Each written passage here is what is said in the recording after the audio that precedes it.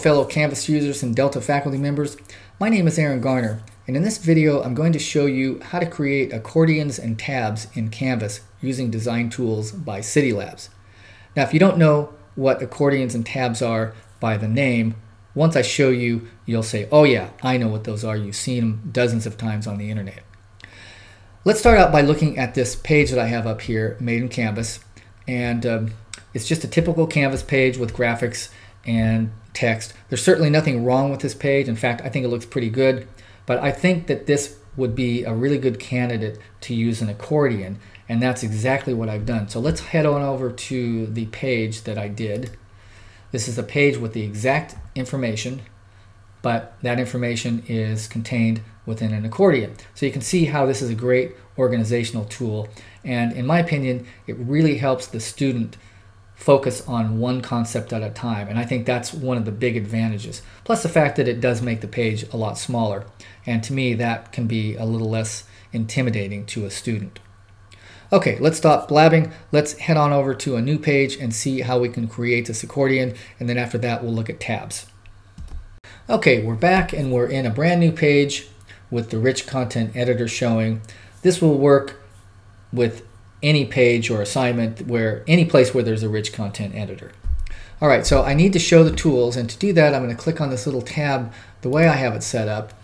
If you want more information on how to uh, hide and unhide the tools, you can watch my video called Revealing the Tools. But for now, just make sure that you click on the three keys Alt, Shift, and the letter D. It's Option on a Mac, by the way, and then the tools will appear.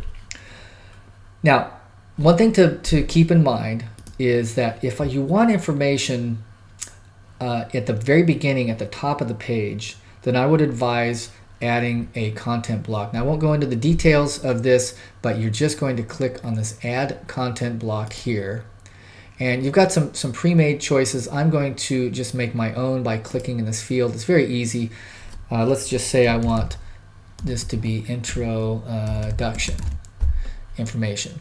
So that's all you do. Just click the title, click on this plus sign, and now it will add this box. And now I can, let's go ahead and just put some information in there. Uh, now I can, can enter my information. If you start out with the accordion right at the top of the page, it becomes a little trickier to add information above the accordion or tabs depending on which one you use. It's certainly not impossible, it's just a little trickier. So I'm just going to go ahead and do this because I know I want some introductory text here. Now I'm set up and I can add my, in this case we're going to start out with an accordion. All right, now let's close that panel and let's go to the add advanced elements. Now, one thing before I get started actually is that you got to click on this little gear icon and make sure that you have the advanced tab selective. Otherwise, these tools will not be visible. Okay, so I just clicked on Add Advanced Elements. I'm going to click on Accordions and Tabs. There's not much here yet, um, but um, there will be. So there, you have two choices. This right here is a content block. All it is is just a box. You can see the blue lines. It's just a box that contains information. I can add text and images and movies and anything that I could do in Canvas, just a normal Canvas page. But this is self-contained.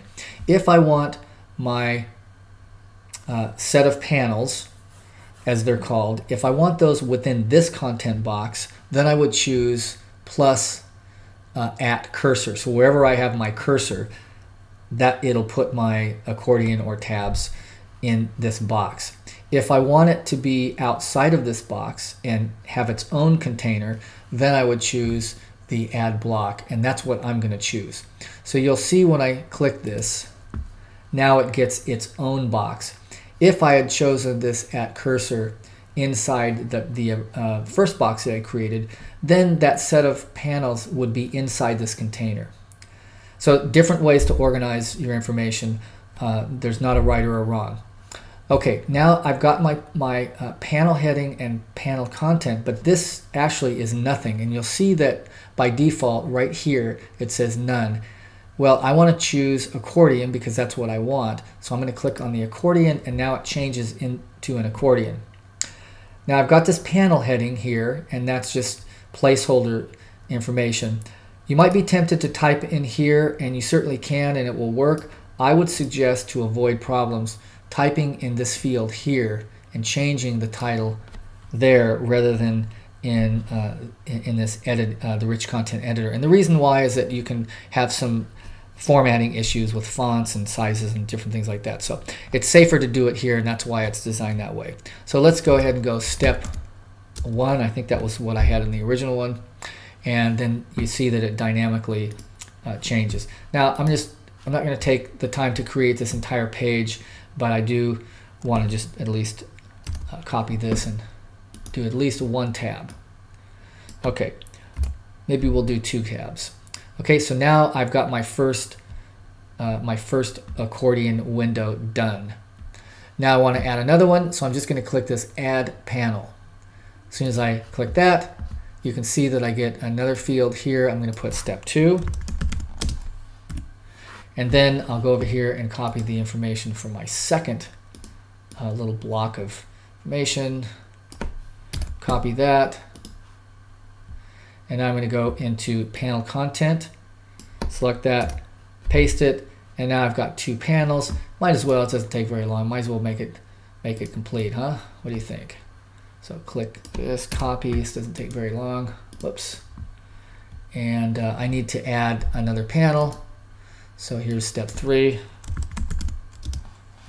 And I'm going to paste that information here.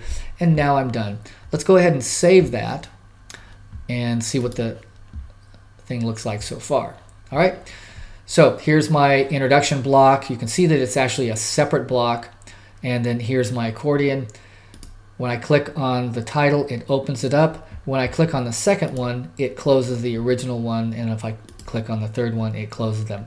Now that's a feature that you may not want, and we're going to look at how we can change that. So a variation on that is an expander. Let's go ahead and go into add advanced elements, accordions. Now you notice that that information is not there. It's not there until I click in one of these fields. Now you can see it. Now I want to change this in, uh, from an accordion to an expander. An expander is really an accordion except that it acts a little bit differently. And let's save this and take a look. So now I have the option of expanding all collapsing all, or just having maybe I only want two open at the same time. So you have to open and close them, but they remain open or closed. Did I say that right? I think that makes sense. But anyway, that's that's how that works. So uh, it's a feature that you may or may not want. I think it's in some instances it might be convenient to be able to uh, have you know multiple panels open so that you can compare information. So that's a that's a choice that you can make. And then the, the uh, third variation on that is tabs, and it's really the same concept, just a different way of organizing. It's horizontal rather than vertically. The really cool thing about this is that I can change these at any point. So if I click on tabs, go ahead and save that, it immediately turns it into tabs. So really cool feature. It doesn't uh, uh, change anything with the information or the formatting. It just provides you with a different look and different way of organizing. A couple more things. Okay, let's go ahead and click in the field to reveal all those things. You can uh, change the order. Obviously, in this instance, since I have step one through three, I would not want to change the order, but you may want to change the order for whatever reason. So you can do that by dragging and dropping. Of course, these X's means that you can delete one of these panels, add as many panels as you want. And that's pretty much it. Now there's one other thing that's that uh, that you should know. I'm going to click in the very end of this last panel. And let's say that I just want to start typing freely after that. You can click on this insert paragraph after. And what that'll do is that it will give you um, a field down here that you can type. Let's go ahead and copy this and then I can um, have a place where I can type freely, just like you were in just the regular Canvas uh, rich content editor. And I can do all the same things that uh, I would. Okay, so let's go ahead and let's see. Let me see if there's anything else I want to mention. Um, that's pretty much it. I will just end, let's just say that I wanted a I wanted an accordion within this introduction box, right? Then that's when I would actually add at cursor. And then you can see that it adds this these panels within this box. So again, just another way to organize your information. So it's a very flexible system. Okay, that's going to wrap up this video. Hope you enjoyed it. We'll see you in the next one.